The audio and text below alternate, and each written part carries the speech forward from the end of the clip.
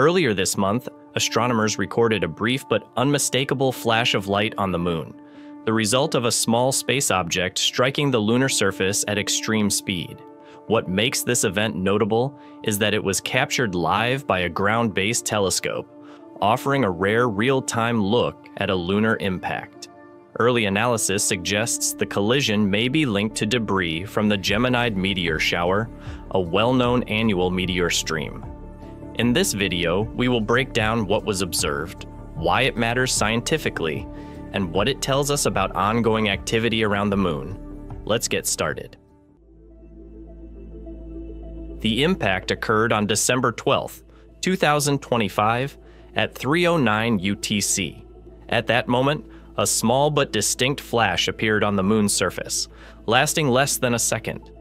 The event was detected during routine lunar monitoring using a robotic telescope capable of recording rapid, transient phenomena. What sets this observation apart is that the flash was seen as it happened. Most lunar impact flashes are identified later, either by automated software or by reviewing recorded footage frame by frame. In this case, the observer noticed the flash live on screen, something even experienced lunar observers may never witness during their careers. The timing and location of the impact were favorable for detection. It occurred on the unilluminated portion of the moon during the new moon phase, when the absence of sunlight allows brief flashes to stand out against the dark lunar surface. Impacts on the sunlit portion of the moon are effectively invisible from Earth due to overwhelming reflected light. Initial analysis suggests the object responsible was very small, likely only a few centimeters across. Despite its size, it was traveling at extremely high speed, on the order of tens of kilometers per second. At such velocities, even a tiny object carries enough energy to produce a detectable flash when it collides with the moon. Based on the telescope's orientation and frame by frame analysis, astronomers estimate the impact occurred slightly northeast of the Langrenus crater, a prominent feature on the moon's near side. Determining an exact location takes time, as researchers must account for viewing geometry, timing precision, and potential instrumental effects.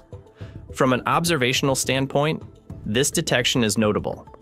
It represents the first confirmed lunar impact flash recorded from Ireland and only the second documented from the British Isles. Given the moon's size and the fleeting nature of these flashes, such observations remain difficult to capture from Earth.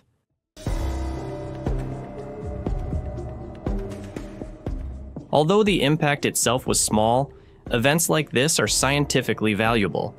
Lunar impact flashes provide direct evidence of how frequently small objects collide with the moon, information that is difficult to obtain through other means. Unlike Earth, the moon lacks an atmosphere to slow or destroy incoming debris. Objects of all sizes strike the lunar surface directly, preserving the physics of the collision. When a meteoroid impacts the moon at high speed, its kinetic energy is rapidly converted into heat and light, producing a short lived optical flash. By measuring the brightness and duration of such flashes, scientists can estimate the energy involved and infer properties of the impacting object, including its approximate size and velocity. When combined across many observations, these data help refine models of the small object population in near Earth space. The timing of this impact is particularly relevant. It occurred during the active window of the Geminid meteor shower, which runs from early to mid December each year. The Geminids are one of the most intense and reliable annual meteor showers, known for their fast and bright meteors. What makes the Geminids unusual is their origin. Rather than coming from a traditional icy comet, the shower is linked to a rocky object known as 3200 Phaethon. This object behaves more like an asteroid, but it sheds debris as it passes close to the Sun. Over time, this debris forms a dense stream along its orbit. When Earth passes through this stream, we see Geminid meteors burning up in the atmosphere. However, Earth is not the only body intersecting this debris field. The Moon regularly passes through the same region of space, making it vulnerable to impacts from the same population of particles. Preliminary estimates place the impact speed at around 35 kilometers per second, which is consistent with typical Geminid velocities. While this does not conclusively prove the object originated from the Geminid stream, the timing and speed strongly support that interpretation. Events like this help validate long standing theoretical predictions. They demonstrate that meteor streams can produce detectable impacts on the moon, and that these impacts occur with measurable frequency. Over long time scales, countless similar collisions have contributed to the moon's heavily cratered surface. Importantly, this observation also helps constrain the lower end of the meteoroid size distribution. Large impacts are rare and well studied, but small impacts are far more common and much harder to detect. Each confirmed flash improves our understanding of how often these small but energetic collisions occur.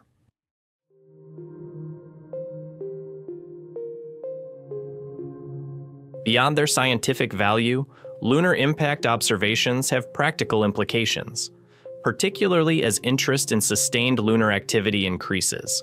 Future missions plan to establish long term infrastructure on the moon, including habitats, scientific instruments, and communication systems. Even small impacts can pose cumulative risks to exposed equipment. Understanding how often these impacts occur and with what energies is essential for designing effective protective strategies. This event also highlights the importance of continuous lunar monitoring. Advances in imaging technology, automated detection software, and coordinated observing networks are making it increasingly feasible to detect impact flashes in real time. What was once a rare observational success may become more routine as these systems improve there is also the possibility of follow up observations from lunar orbit. In some cases, high resolution images from orbiting spacecraft can reveal fresh impact craters corresponding to observed flashes.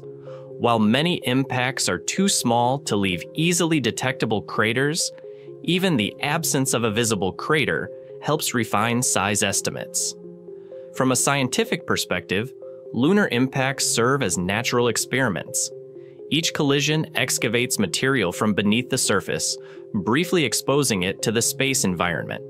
Studying these processes contributes to a better understanding of how the lunar surface evolves over time.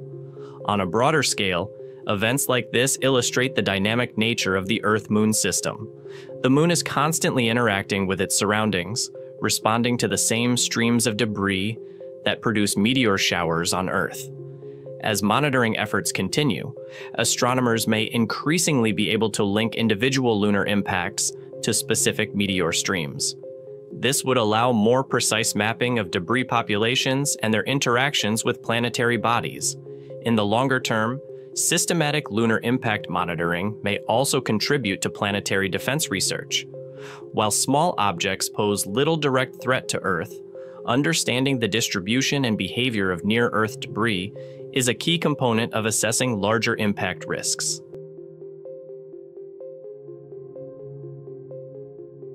This brief flash on the moon was a direct, real time glimpse of an otherwise invisible process. It confirms that the moon remains actively shaped by ongoing impacts from debris moving through the inner solar system. As monitoring improves, events like this will shift from rare surprises to valuable scientific data.